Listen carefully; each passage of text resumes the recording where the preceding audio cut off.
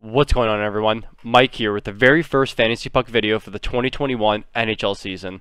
Today I'll be bringing to you 5 late round sleepers that can help you win your NHL fantasy season. The first sleeper on this list is Nick Suzuki of the Montreal Canadiens. Drafted 13th overall by the Vegas Golden Knights, Suzuki saw his time in Vegas cut short when he was traded to, the, to Montreal in the Max Pacioretty trade. Suzuki played his first full NHL season last year, putting up 13 goals and 28 assists to cap off a 41 point rookie campaign.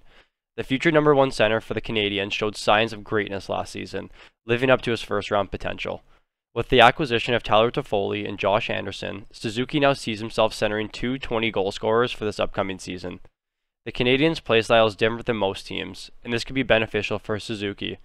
Phillip Danault takes the duties of the shutdown role, leaving Suzuki wide open to play against teams' second and third lines. Along with the power play time, the upside for Suzuki is high. He's currently ranked 169th and is center 51.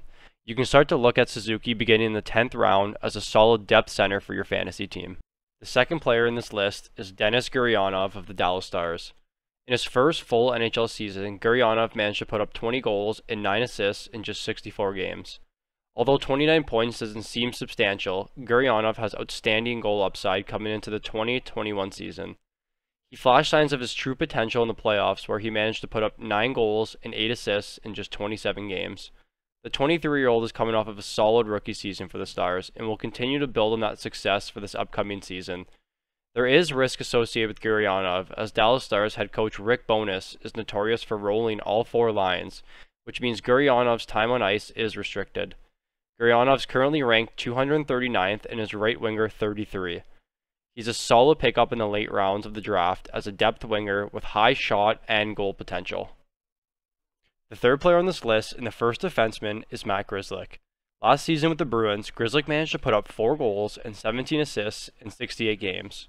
With the departure of Torey Krug, this opens up the door for Grzelcyk to step in as the quarterback for Boston's fantastic power play. Last season, Krug was on and off injury, and we saw Grzelcyk step up to lead the power play from the back end. Boston has the second most power play goals last year, scoring 57, trailing only the Edmonton Oilers. On top of power play time, Grzelcyk should also see an increase in 5 on 5 ice time if Zdeno Chara decides to retire. Grzelcyk is currently going undrafted in most drafts, and given his power play upside, he can be a solid late round depth D-man. The fourth player on this list is defenseman Ethan Bear. Last year was Bear's first full NHL season, where he managed to put up 5 goals and 16 assists for the Oilers. Oilers D-man Oscar Klefbom is recovering from shoulder surgery, leaving the door wide open for Bear to play on the top pairing in the top power play unit. In his rookie season, Bear averaged over 21 minutes time on ice, and this only increased as the year progressed, where he played close to 23 minutes a night during the playoffs. Although the Oilers have signed D-man Tyson Barrie, he has not proven anything yet, and this leaves Bear as one of the top D options for the high scoring Oilers going into the season. He's currently going undrafted in most leagues, with ESPN's ranking him outside of the top 300. Similar to Grzelcyk, Bear can be a solid late round depth D man to round out your fantasy D core. The final player on this list is Capitals forward Jakub Vrana. I had high hopes for Vrana going into last season, and I'm high on him again going into this season. In 2019, Vrana managed to put up 25 goals to add to, 50, to his 52 points in just 69 games.